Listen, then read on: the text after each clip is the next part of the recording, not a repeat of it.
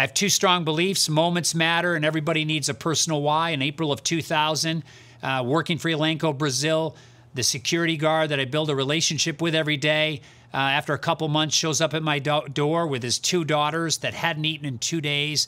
I saw shame in a father, brokenness in kids, and it stirred my why, which is everybody deserves a, a few high quality meals every day. That is a human right and I've driven that to make that wrong a right is my why. In Elanco, it's making you know animals' lives better, creates more affordable protein, animal protein. I've also turned it into a personal why with Hatch, where we're delivering more accessibility to more meals of animal protein across this country.